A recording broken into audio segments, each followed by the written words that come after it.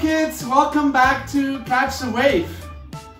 I missed you last week and uh, I, I, I, hope you are having a good time of, of Easter. Today, it's our third Sunday of Easter and we have a very special guest on this episode. This guest is in disguise, so I hope you can recognize who this person is. Hi there. I bet you can't recognize who I am underneath this disguise.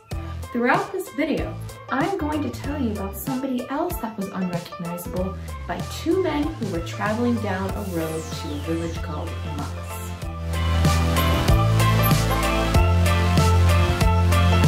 As a tight fit. In this week's gospel, two men were walking and talking until they met someone on the road to Emmaus. Now, they couldn't recognize who this was. Are you surprised by that? Could, we both know that it was Jesus, but they could not recognize somebody even though he was so well loved and even though he had such an impact on the world. When the stranger says to them, have you not read what the prophets wrote in the scriptures? It was said that the Son of God would perform a sacrifice for the entire world. We could probably guess by then that it was Jesus, but to these men, he was still unrecognizable. Keep in mind that these men had just seen Jesus' crucifixion and they were incredibly sad. So when Jesus told them that, they still couldn't figure out that it was him. It's not that the men didn't believe Christ was capable, it's that they didn't realize it had already happened. It's not that the men didn't believe in Jesus, they didn't realize what he was capable of. When the men finally reached the Emmaus, they invited Christ to spend the evening and join them in a meal. And when Christ broke the bread, he opened their eyes. So, what happened then? Well, you got it. They recognized him. And just like that, Jesus was gone. He had vanished. Jesus had to open their eyes to see that it was him. And when they finally realized this, they knew immediately what they had to do. They ran to go and gather the original 11 disciples. And they told them, it is true what has happened. Christ is the king. Christ is reborn. They shouted this from the rooftops. And now that we know that Jesus has come back from the dead and fulfilled the prophet's words, we can open our eyes up too to him as well and also see the incredible things that he does. Don't you notice how their attitudes totally changed after Christ came back from the dead? It's because their hearts had been touched by what he did. That's when they said to themselves, we did feel a burning when Christ when Christ spoke to us on the road. We knew that he was there with us.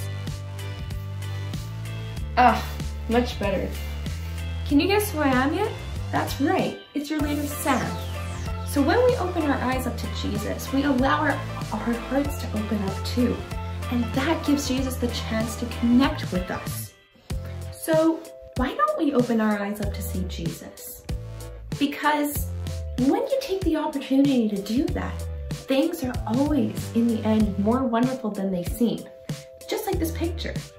When you look at this picture from this side up, it looks exactly like an eagle, doesn't it? But, just wait, when you flip it upside down, you get something completely different. We, I would say I'm looking right at the face of Jesus on the cross. Wouldn't you say that too? So take the opportunity to open yourself up to him and recognizing that he did this incredible thing by fulfilling what the prophets said just like the men on the road to Emmaus. That's it for me today. Thank you so much and amen. Thank you very much, Sam. Thank you very much for uh, showing us how can Jesus sometimes is in disguise. It's difficult for us to see and maybe you are looking for Jesus today. Jesus is alive, so where can we find Jesus? So every time during Mass, when you see Father Mike putting the bread like this, Jesus is inside that bread. He is alive in disguise in that bread. Every time that you love your family and you are together as a family, Jesus is in disguise in the midst of your family. Every time you help someone in need and you give a hand to that person that needs a hand, you are helping Jesus in disguise. So I just want to encourage you today to find Jesus around you. Jesus is alive. And today, when you give a hug to your parents, when you, you smile to your brothers or to your sisters, you are hugging and smiling Jesus. So let's close our session today with prayer, as we usually do. So I'm going to start the prayer and uh, you can repeat after me. Is that okay? Let's pray. Dear Jesus, I want to ask you today to help me see you in my life. I want to recognize you in my family, my friends, my brothers and my sisters. I want to see you today in my prayer. Thank you, Jesus, for everything you do for me. Make our prayers in your name, Jesus. Amen. Thank you very much, everyone. And if you want to still send me uh, the bulletins that you are drawing, you can send them to my email at rojo at stick.ca. See you next week, and God bless you.